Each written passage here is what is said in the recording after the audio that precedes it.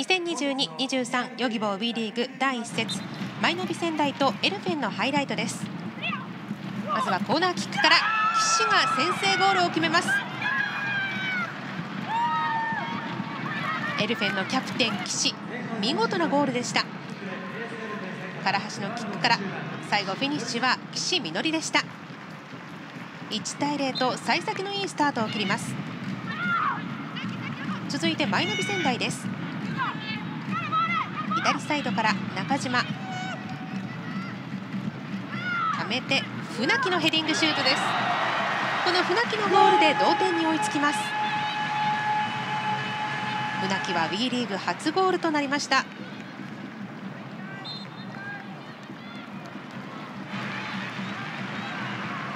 町田監督にも抱きつきます。続いて43分のシーンです。左サイドの高平が持ちます。高平から大外館のゴール。ヘディングゴールが決まって2対1です。開幕戦にして早くもゴールを決めた屋形美優高平美優のアシストでした。リードして折り返すのはマイナビ仙台。67分のシーンです。マイナビ仙台まずここで館がスピードで勝ちます。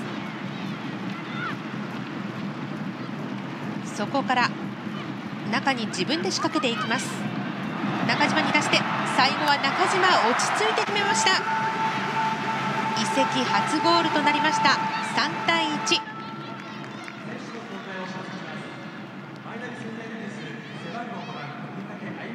館の仕掛けから最後は中島でした。素晴らしい活躍でした。